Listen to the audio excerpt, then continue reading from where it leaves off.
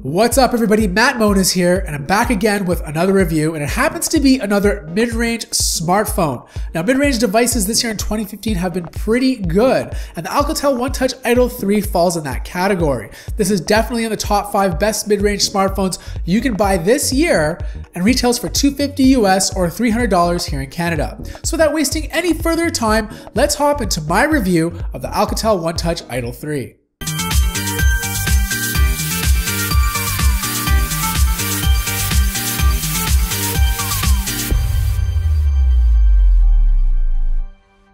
Let's start off with the design. The Idol 3 has a really nice design for a mid-range phone.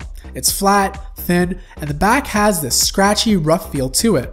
The sides are lined with a chrome accent, giving the phone an elegant look and feel. For a 5.5 inch phone, it doesn't feel big, and it fits nicely in my hands. I never once felt like I was going to drop it, and that's the way it should feel. To give you an idea how big this phone is, I've paired it up with the LG G3 and the Asus Zenfone 2. It's slightly smaller and shorter than the Zenfone 2, but a little bigger than the LG G3. On the bottom of the phone, you have a micro USB port, and on the top lies an audio jack and another microphone. Flipping it over onto its left side is a combo micro SIM, SD card slot, and a power button, which is a terrible place to get to. Thankfully, though, like most smartphones with poorly placed power buttons, you can easily double tap the screen to turn it on and off. On the other side is your volume rocker, and the buttons are placed a little too close to the body of the phone, making it a little hard to differentiate between volume up and volume down. Again, these are not a big deal, but little things that manufacturers should consider when making a phone. On the back is a 13 megapixel camera, dual LED flash, and Alcatel One Touch typography. And finally, on the front is an 8 megapixel shooter, notification light, sensors, and dual stereo speakers. Overall, this phone is one good looking mid range phone with good size bezels. Which brings me to my next topic, and that's the display. The display is 5.5 inches and has a resolution of 1920 by 1080. It pumps out 401 pixels per inch, which is more than enough pixels for you not to be able to see them. The display is absolutely amazing. Text looks sharp and the screen is really bright. In fact, you can lower the brightness to 25% and still be happy with how bright it is.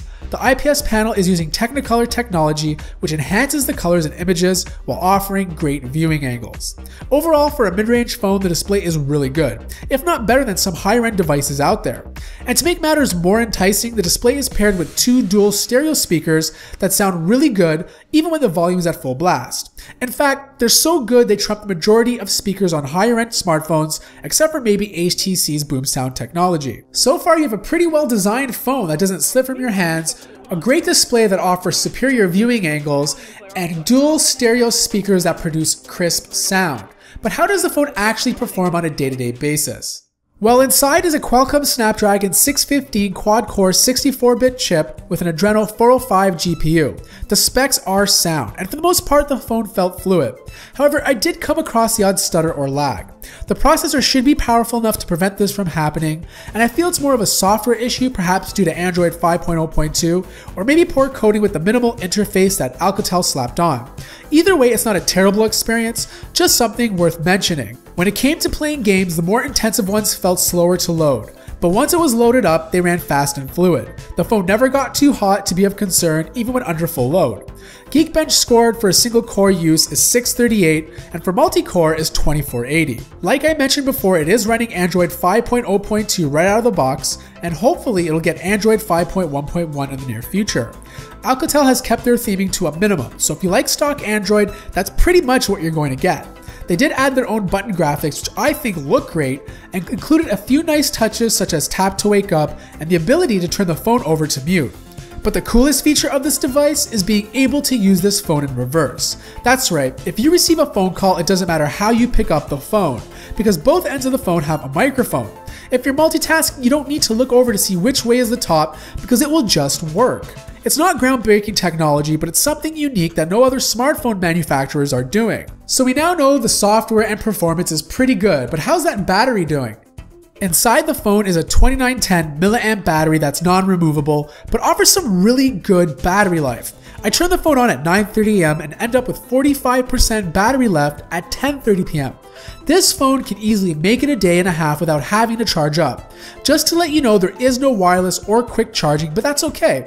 I think I'd rather have the longer battery life. I find it strange that all these mid-range phones offer better battery life than the most of the expensive flagship devices currently on the market. The Idol 3 comes with 16 gigabytes of internal storage and a micro SD card slot allowing you to insert up to 120 gigabytes of extra storage space. And I also just want to mention call quality was great with no drop calls. Finally, let's talk about the camera. The rear facing camera is 13 megapixels with an f2.0 aperture and has the same Sony IMX214 sensor as the Nexus 6.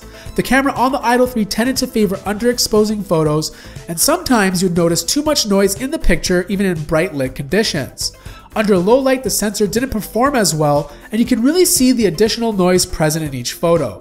The front facing camera is 8 megapixels and does a fine job for taking the odd selfie. Most front facing cameras are not meant to be superb, and you'll find this one to be just as good as the majority out there. As for video though, both the front and rear facing cameras support up to 1080p, and it does a really good job at it. Overall, this is a decent camera, and for social media lovers, you'll be happy with the results. So what's the bottom line then? Should you go out there and buy this phone? I definitely think it's worth considering. You're getting a beautiful package, a phone that doesn't slip from the hand, a really bright display that has awesome viewing angles, and dual stereo speakers that sound really good. For 250 US or 300 Canadian, you really can't beat that price. And like I mentioned before, this is definitely in the top 5 best mid-range smartphones of 2015. So let me guys know what you think of the Alcatel One Touch Idol 3 in the comments below. If you have one, let me know what you like and dislike about this smartphone. I'm also going to be doing a versus video between this phone and the Asus Zenfone 2, so make sure you hit that subscribe button if you want to see that. Thank you guys so much for watching this video. If you enjoyed it, make sure to smash that like button, and I'll see everybody in the next video.